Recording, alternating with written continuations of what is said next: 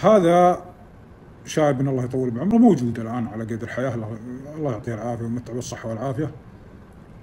آه، والقصة صارت عليه قبل تقريبا 20 سنة 22 سنة آه، حدود 1420 أو كذا. الرجال هذا كان بدوي يشد وينزل وكان له جار. كان له جار قبل 20 سنة آه، يشد وينزل معه في البادية. وتفرقوا تعرفون البادية هي أحيانا جيران واحيانا يتفرقون تفرقوا وراحوا. كل راح في طريقه. وراحت الأيام وراحت الأيام. وفي يوم من الأيام بعد 20 سنة جاء سوق الغنم جالب له غنم سوق الغنم. طبعا هو سكن في حدا من المملكة. وجاب غنمه جالبها سوق الغنم. ويوم جاء في السوق سوق الغنم اللي والله إنه يواجه جارها اللي قبل 20 سنة. يا مرحبا يا هلا يلا حيه يا مرحبا ويا هلا يلا سلمى يلا حيه وتعرف عاد الناس اللي يرتبطون عن بعضهم ويحبون بعضهم ويسلمون على بعض ويتنشدون بعض. ها وش علومك؟ وش سويت؟ وين ديرتك. قال والله أنا ديري أنشد جارها أنت الشاب هذا أنشد جاره. قال والله أنا ديرتي عاني الديره هذه اللي أنت فيها وعاني في الحي الفلاني وساكن في- فيه ومرتاحة بالشرك. لكن عزمك سير علي سير علي. قالوا حتى أنا اعزمك المهم يعزمون بعضهم. قال طيب وصف لي بيتك. يقول هالشايب هذا اللي جاء البغنم اللي في الديره دي. يقول الجار اللي واجهه بعد 20 سنة. وين بيتك؟ قال بيتي عانه اليوم إنك جيت مع الكبري الفلاني ونزلت ونزلت مع الكبري جيت اول محطة. بعد أول محطة ادخل يمين. ولا دخلت يمين يجيك أول لفة اتركها ثاني لفة اتركها ثالث لفة ادخل معها يمين شوي. ثالث بيت بيتي ترى بوابته خضراء. البوابة حقت البيت. أبد. هذاك بيتي الله يحييك. سير علي. قال إن شاء الله. إن حصلنا فرصة بإذن الله. وأنت سير علي. أنا عني في الحي الفلاني. وعني في المكان الفلاني. ولا جيت مع الكبري الفلاني. ولفيت من هنا وجيت من هنا. بيتي هناك. أبد. الرجال يوم إنهم خلصوا من السوالف ومن كل شيء. ونشدوا بعضهم وش معك وش عندك عيال وش عندك بنات. طبعا هذا الرجال خابر جاره اللي قبل 20 سنة يقول خابره معه ولد واحد ومعه الظاهر أربع بنات تقريبا قال أربع بنات ولد واحد بس وينشد عاد. ينشد يقول أنت وش سويت؟ بناتك تزوجن ولدك تزوج؟ قال والله أبشرك الولد تزوج. والبنات زوجت واحدة منهن وباقي عندي ثنتين. عاد هو خابر هناك الحين على خمس ست آه، عمارة في الحدود يعني أكبرهن بتصير من 26 27 وأصغرهن يمكن 22 حولها. 23 في هالحدود آه، عاد الناس الشيبان ترى على طبيعتهم بدون تكلف يعني جاره يعتبره مثل أخوه وينشده عن أحوالها الخاصة كلها. والجار الثاني يعلم كل شيء ما عندهم أي إشكالية ولا عندهم بعض العلوم اللي عند الناس الآن. أنت يا الشايب هذا اللي واجه جاره. ما هو بول البنات الثاني. كان له جار. أو عنده جار الآن من هم الشيبان هذول كل واحد من قبيلة ترى. ما هم من قبيلة واحدة والشايب هذا راعي الغنم اللي جاء واجه جاره اللي ما هو بول البنات. آه، له جار عنده ولد. عنده ولد سبيل ويبغى يزوجه وقال يا فلان يقول للشايب هذا يا فلان أنا بزوج ولدي ولاني مزوجه من نفس القبيله ودي ازوجه من برا من برا ربعنا ما ودي ازوجه من ربعنا فما عندك بنات والله أنا ما عندي بنات أنت خبرني بنات كلهم مزوجهن ولا عندي أحد. قال طيب ما فيها أحد تعرفهم من معارف كنت لك معارف ولك أصحاب ولك من قبيلتك. ولا حتى لو من قبيلتنا بس من فخذين ثانية تدور اللي عنده. قال أبشر. أبد والله ان حصلت أحد. إني لك الملك على نيته وعلى فطرته قال آه، خلاص الله يجزاك خير. إن حصلت لنا عرب طيبين وحمولة طيبة فعلمني عشان خاطب البنت منهم الولدي منهم. والشايب هذا عنده ثلاث حريم. شايبنا هذا اللي نسولف عنه اللي حصلت عليه القصة عنده ثلاث حريم ورجال سبيل عمره في السبعين تقريبا عليه. هاك الحين يوم القصة صارت عليه. في يوم انهم تفرقوا هو رفيق جارة ذا وتواعدوا يصيروا على بعض ومشوا كل واحد مشى سيارته يبي يركبون سياراتهم اللي يا والله أن تطري عليه يطري عليه جارها اللي موصيه يقول دور الولدي حرمه ولا أبغاها من القبيلة. الجار من نفس قبيلة الرجال هذا لكن ما هو من فخذه من نفس قبيلة جاره أبو البنات لكن ما هو من فخذه من فخذ بعيد نقص القبيلة يعني. ويوم إنه مشى سيارته وهو هو يذكر السالفة وهو يعود قال فلان فلان. يقول له الجار ابو البنات. تعال تعال تعال أبغاك. وهو يرجع له. قال أنا نشدت تكول عن بناتك وتقول فيه ثلاث عندك ما تزوج. وأنا فيه رجال فيه رجال من قبيلتك. بس ما هو من فخذك من قبيلة ثانية من فخذ ثانية الف...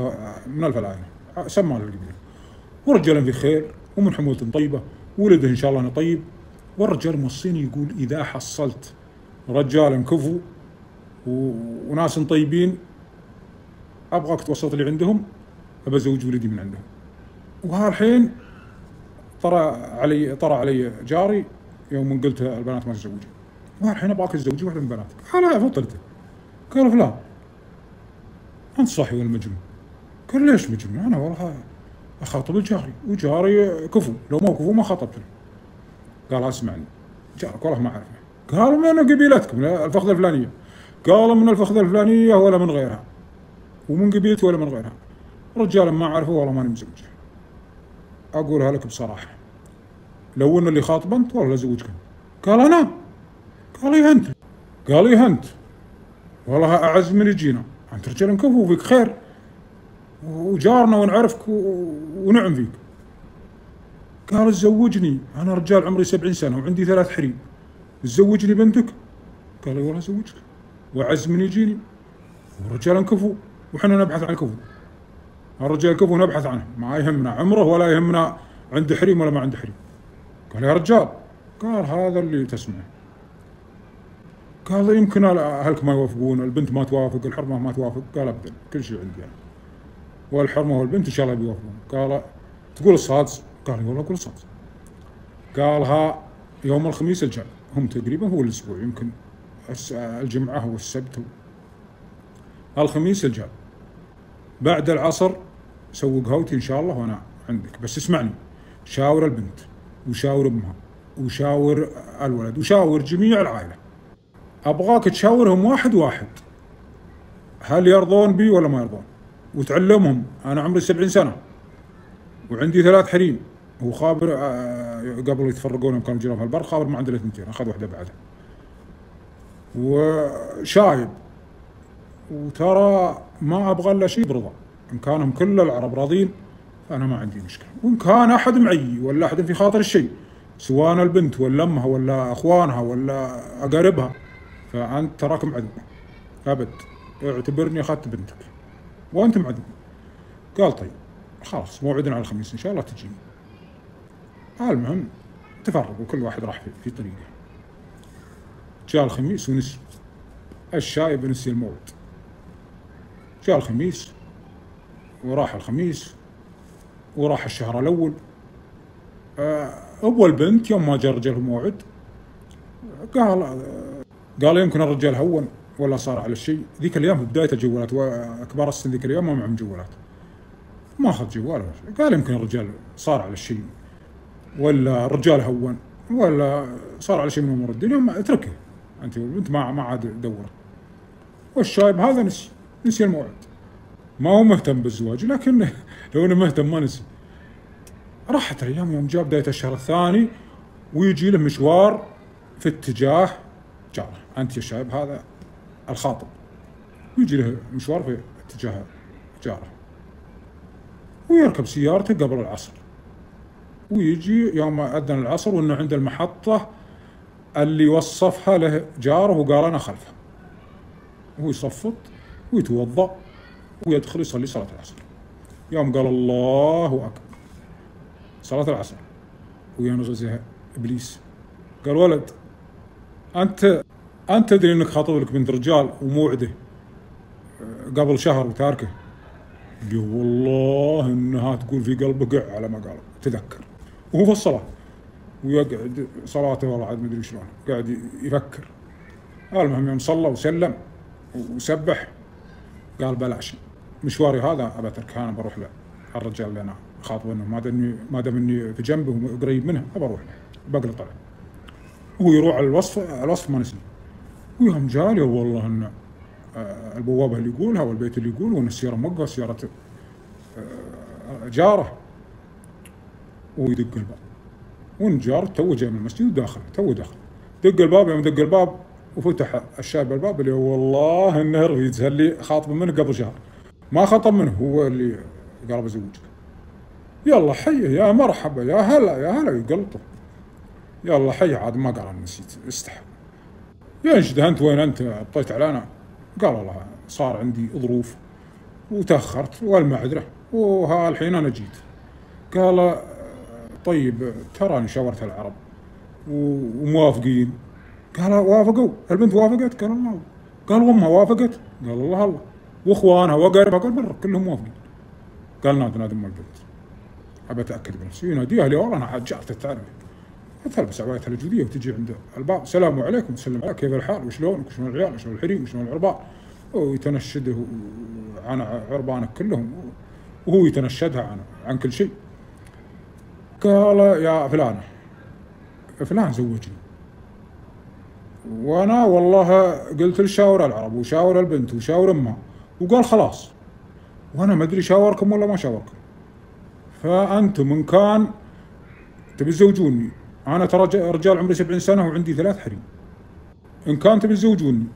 فأنا قبل زواجكم الله يجزاكم خير. وإن كانكم ما تبوني تراكم معذورين ثم معذورين.